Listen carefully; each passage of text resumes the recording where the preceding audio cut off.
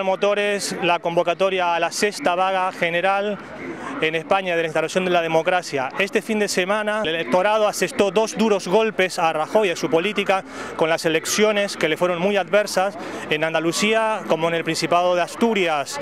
En esta situación eh, Rajoy dijo que no iba a hacer ningún cambio a pesar de los reveses electorales en su política económica. Laura, coméntanos, ¿tú crees que esto es una declaración de cara a la galería o realmente tendrá que mirar eh, todas las movilizaciones populares y los reveses que ha tenido ya en las elecciones y cambiar su política económica.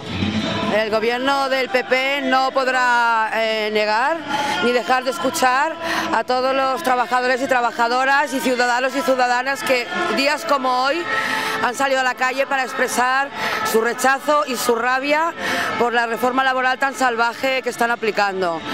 Eh, no podía ser de otra manera. Nosotros confiábamos en que las elecciones eh, de, este fin de semana en Andalucía y de Asturias, los ciudadanos eh, respondieran, ya que el, 20 de noviembre el resto de ciudadanos que votaron al Partido Popular confiaron en ellos y en, en menos de cuatro meses nos hemos encontrado con estos recortes, con una reforma salvaje que nos está haciendo perder todos los derechos que tantos años nos ha costado conquistar el pueblo de España, se refiere a, las materias laborales, se retrotrae al siglo XIX.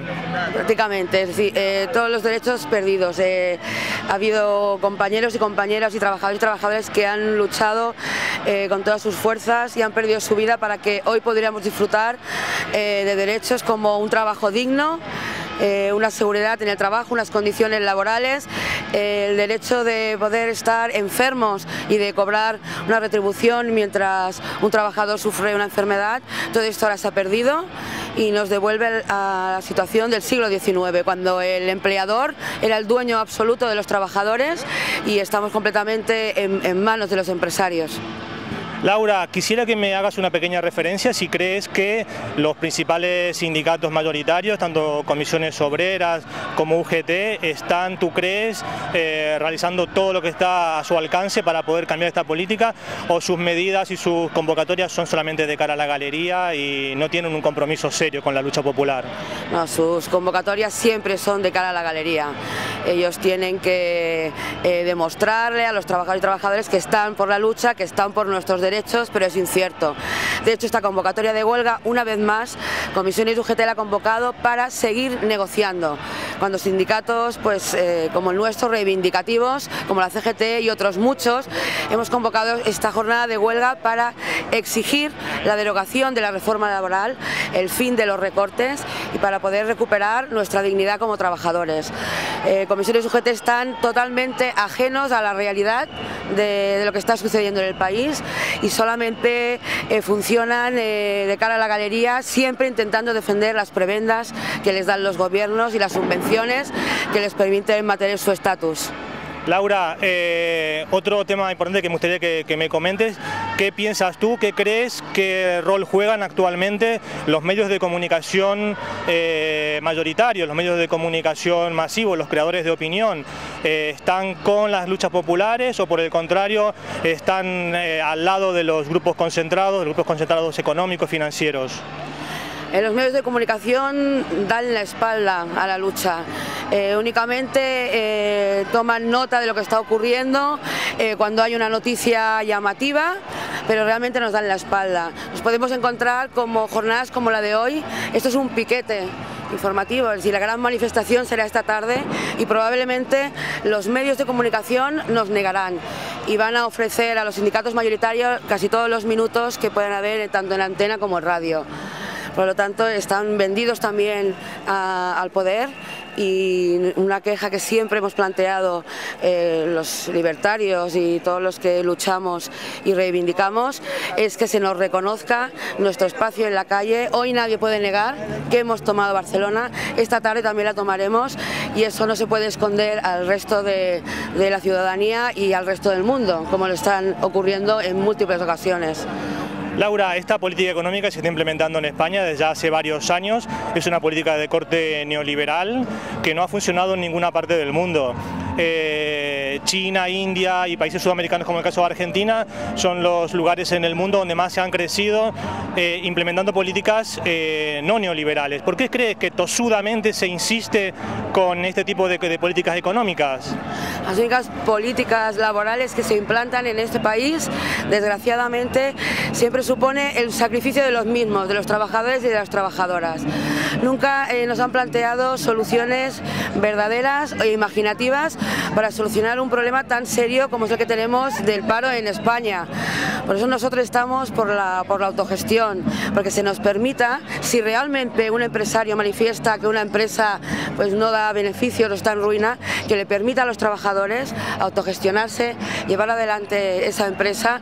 Nosotros estamos convencidos y lo sabemos que quien mejor conoce una empresa son sus trabajadores y sus trabajadoras y que podríamos tirar adelante muchísimos proyectos.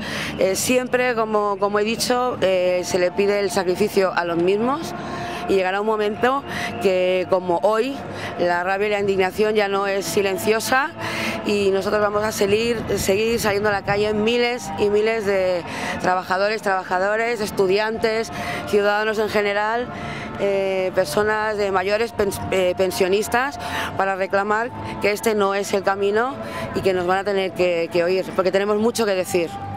Hace aproximadamente unos 15 días atrás hubo una represión mm, salvaje, brutal, como no imaginábamos que podía haber en el corazón del territorio europeo a los estudiantes valencianos.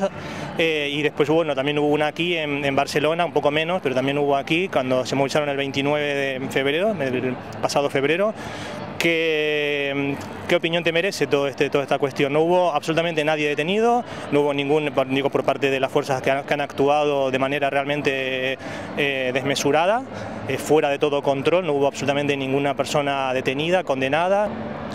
A ver, es, forma parte del sistema que ellos mismos han creado. Eh, nos quieren atemorizar, nos quieren criminalizar de cara pues, a la ciudadanía, al resto del mundo, de Europa, eh, haciendo creer que somos gente violenta, que somos gente salvaje eh, y nosotros solamente estamos en la calle gritando como nuestra indignación y nuestra rabia. Y eso no lo pueden callar. Y lo quieren callar pues, a base de represión y sobre todo de criminalizarnos, de hacer pues que las simpatías que pueda tener eh, movimientos ciudadanos como el que estamos viviendo hoy y los que estamos viviendo durante muchos meses no tenga apoyos, no lo están consiguiendo, no tenemos miedo, seguiremos saliendo a la calle y les gritamos que, que vamos a seguir, que no, no, es necesario que demuestren ese poderío. En muchas ocasiones hemos tenido simples concentraciones donde nos triplicaban o cuatriplicaban eh, las, las, fuerzas de, las fuerzas policiales. Es una vergüenza que con nuestro dinero, con el dinero de los ciudadanos y de todos nosotros, eh, utilicen pues, esa, eh, ese cuerpo de seguridad contra nosotros mismos.